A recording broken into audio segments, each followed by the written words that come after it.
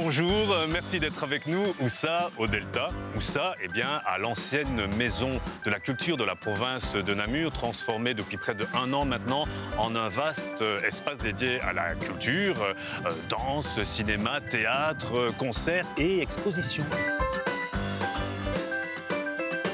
Le Delta qui accueille en ce moment les œuvres de Peter Saul. Alors, qui est Peter Saul? Il est américain et c'est tout simplement l'un des artistes les plus importants de ce 20e et 21e siècle. On le classe dans la catégorie euh, du pop art, même s'il s'en défend un petit peu. Et ici, euh, la rétrospective qui lui est consacrée couvre sa carrière depuis les années 50 jusqu'à aujourd'hui. Regardez.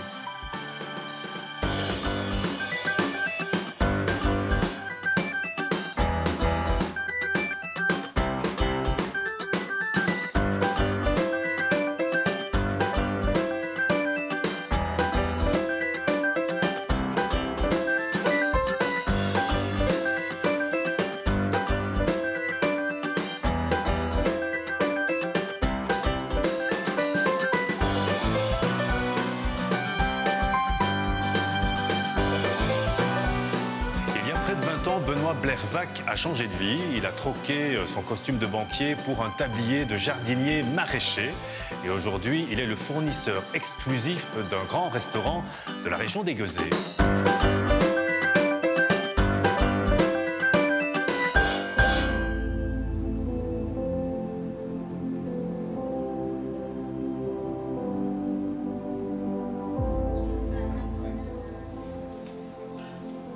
Quand San, le cuisinier étoilé, et Ben, le banquier courtier, se rencontrent, il y a près de 20 ans, ils ont très vite l'envie de travailler ensemble. Je l'ai beaucoup tanné en lui disant je veux travailler avec toi, je veux travailler avec toi. Il a tout de suite trouvé que j'avais pas un esprit pour euh, un esprit être dans une cuisine où ils sont beaucoup plus carrés, etc. Et il a euh, un jour il m'a demandé simplement de faire ses légumes. Je crois que s'il me l'a demandé un mardi, le mercredi je démarrais. On a appris notre métier sur le tas. On est vraiment dans la période du chou maintenant. On a une quinzaine de variétés de choux différents. Le chou, c'est de la poésie à l'état pur. Je trouve que c'est d'une beauté redoutable. Quand on mange, on mange souvent non seulement avec euh, la bouche, mais aussi avec les yeux. Et ce que j'aime bien aussi, c'est manger avec les oreilles. Quand je le mets dans la bouche, il croque comme ça. On a vraiment cette fraîcheur, ce jus, cette eau qui coule dans la bouche. Et je trouve ça redoutable. On sent qu'on mange de la vie, on sent qu'on prend de l'énergie. Donc ça, c'est une fleur de capucine. Le gros problème de cette fleur, c'est qu'elle est un peu trop grosse pour rentrer dans le genre d'assiette que notre chef fait. Et alors, ce qu'il fait, le chef, c'est il enlève tous les pétales. Il y en a cinq. Il y en a trois des cils. Il y en a deux qui n'en ont pas. Et alors, le chef va utiliser le pétale en décoration, comme ça, dans les assiettes. Et puis alors, il a réussi à recréer une nouvelle fleur comme ceci, qui est très jolie, qui va pouvoir aller dans une assiette aussi.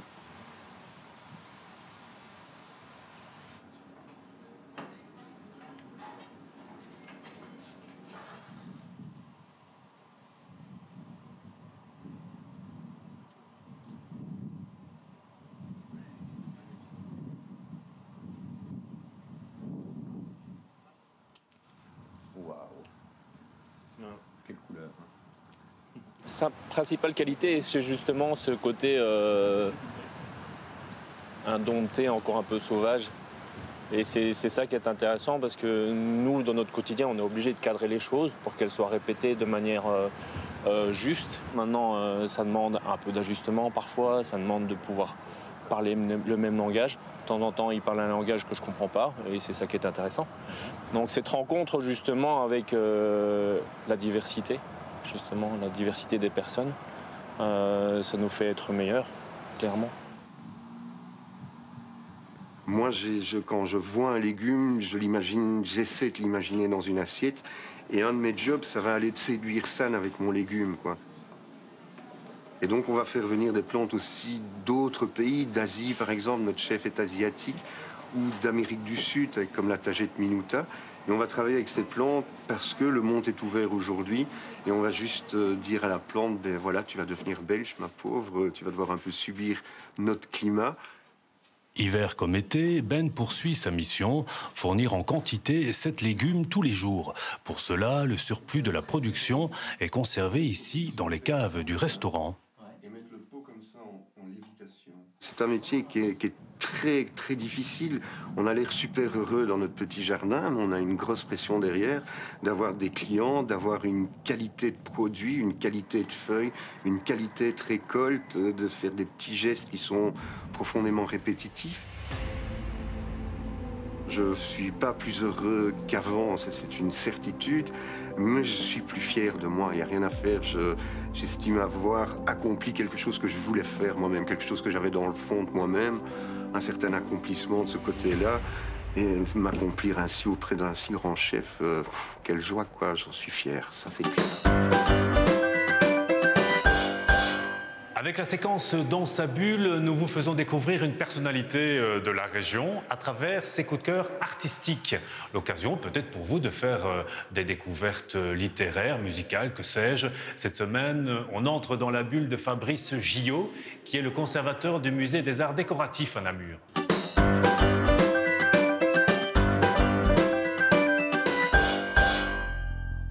Fabrice Gillot, je suis conservateur du musée des arts décoratifs, mais aussi directeur du pôle muséal des bateliers.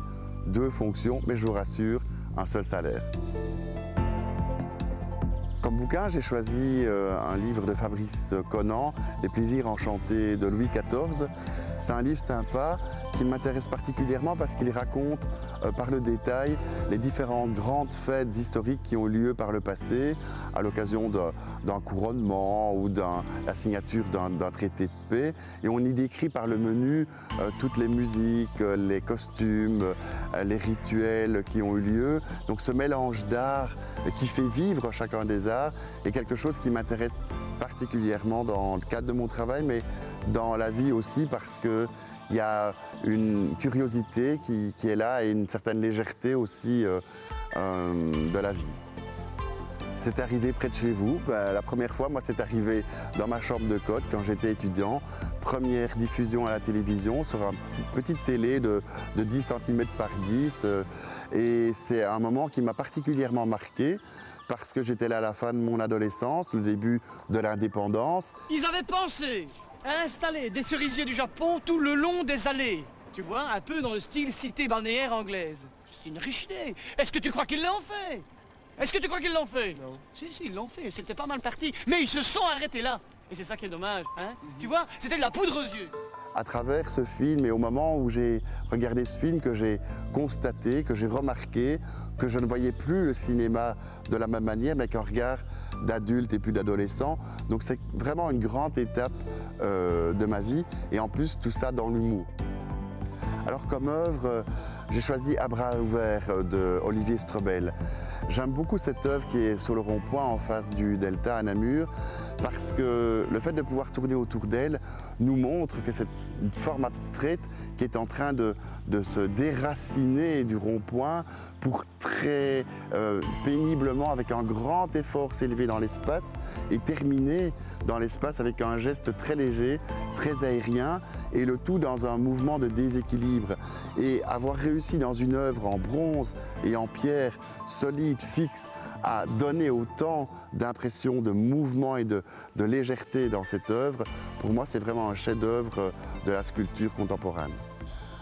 Chambre avec vue, pour moi, est un événement marquant euh, dans la vie de, tous les amateurs de, culture à Namur, parce que c'est vraiment l'opportunité pour euh, les artistes, les artisans d'art, les artistes confirmés, euh, ceux qui le sont moins, les artistes du dimanche, de pouvoir se montrer, se dévoiler dans des lieux insolites chez eux et de partager avec le plus grand public possible, euh, leur, œuvre, leur création. Et c'est vraiment un moment de rencontre où on découvre des choses, mais on se découvre aussi soi-même à travers la multitude d'œuvres qui nous sont proposées. C'est vraiment un moment euh, bien particulier et que j'apprécie beaucoup. Alors, parmi les œuvres musicales et les musiciens, euh, j'apprécie énormément Jean-Sébastien Bach.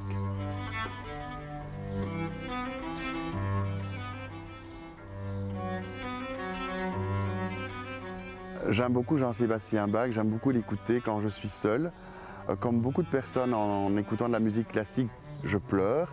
Et après une grosse journée, on a dû euh, prendre pas mal de choses euh, et encaisser pas mal de, problèmes.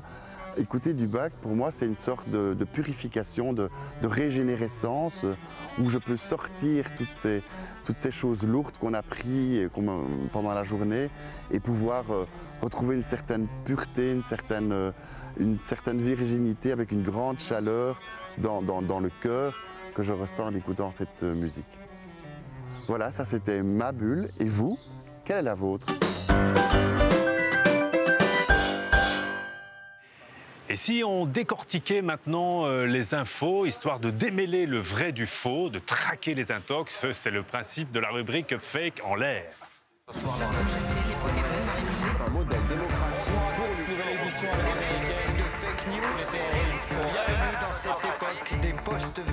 Je m'appelle Léopoldine et ma fake news, c'est l'alcool guérit du coronavirus. Effectivement, euh, ces derniers temps, on a vu beaucoup euh, de rumeurs euh, au sujet de l'alcool qui pourrait guérir le coronavirus. D'ailleurs, elle a fait plusieurs victimes en Iran, pas moins de 40. Cette information a peut-être été relayée lors d'une conférence de presse de Donald Trump où il suggère aux médecins de créer un remède qui pourrait s'ingérer contre le coronavirus, qui était en réalité uniquement du sarcasme. C'est très déconseillé de boire de l'alcool alors qu'on est atteint du coronavirus. Un excès d'alcool peut baisser euh, notre système immunitaire et donc amener encore plus de risques et euh, peut-être aggraver la maladie.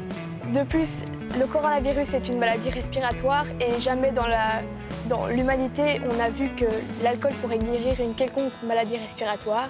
Donc si vous êtes atteint du coronavirus, il vaut mieux éloigner l'alcool de votre vie. On vous emmène en voyage maintenant dans une librairie namuroise, donc un voyage avec des mots. Cette fois, c'est Natacha Manger qui nous parle de Et si on libérait notre imagination pour créer le futur que nous voulons de Rob Hopkins, un vibrant plaidoyer en faveur d'une action profonde, histoire d'atteindre un futur nettement plus intéressant.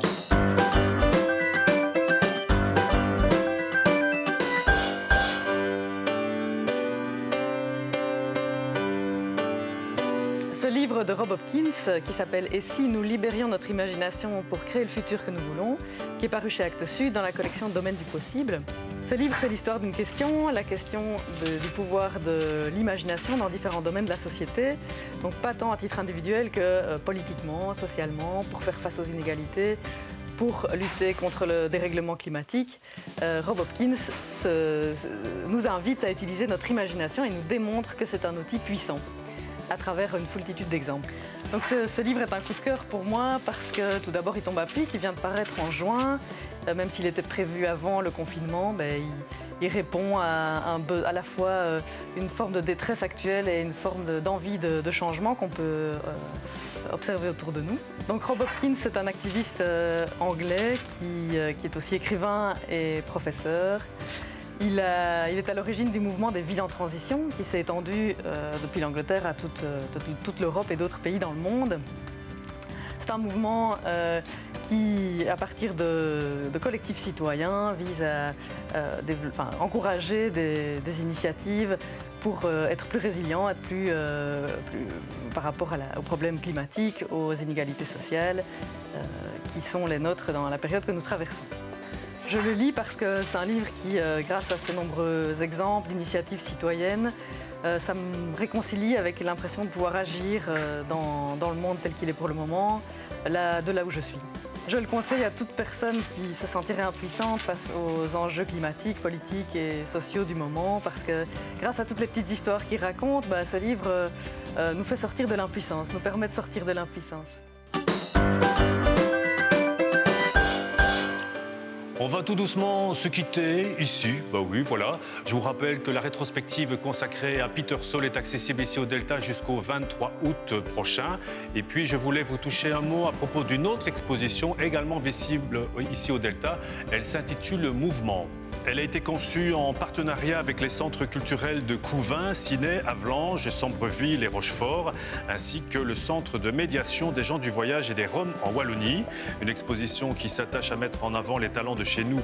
Les œuvres sont signées Lorca, Fred Collin, Jacques Patry, Jean-Christophe Guillaume, François Hubert, Xavier Istas et Jean-François Flamet. L'exposition parle donc du mouvement au sens large. Il est question de déplacement et de migration.